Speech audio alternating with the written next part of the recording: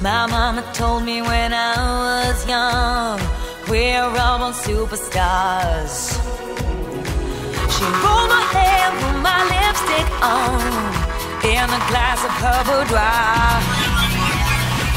There's nothing wrong with loving who you are, she said, cause he made you perfect, babe.